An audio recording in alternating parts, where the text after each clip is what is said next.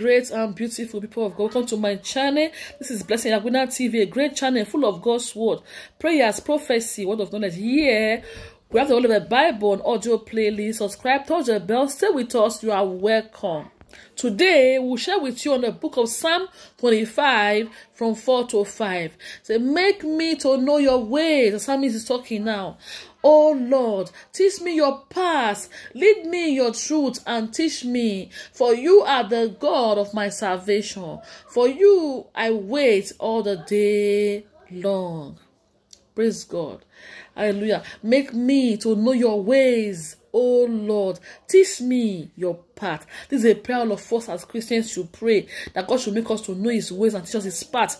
So we will follow his ways carefully. Hallelujah. This is a prayer for everyone. If you're a Christian, pray that God will teach you his way and teach you. Hallelujah. His path. Lead me in your truth and teach me for you are the God of my salvation. Lead me your truth. Today there's no more truth. People just prefer to prefer the lie to the truth. He said, Lead me your truth. And God's word is truth.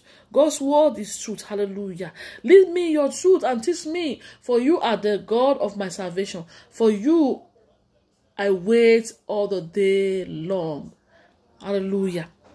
Amen. Yes, we should pray this prayer for ourselves. That God will teach us the truth. And by His Spirit, He will teach us. We should not be comfortable by, by with lies. Hallelujah. People like lies more than truth. But the truth what we always stand. And Jesus Christ is truth.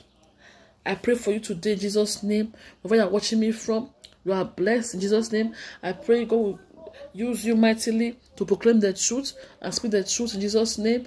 I pray God will give you wisdom when people in the, on the platform.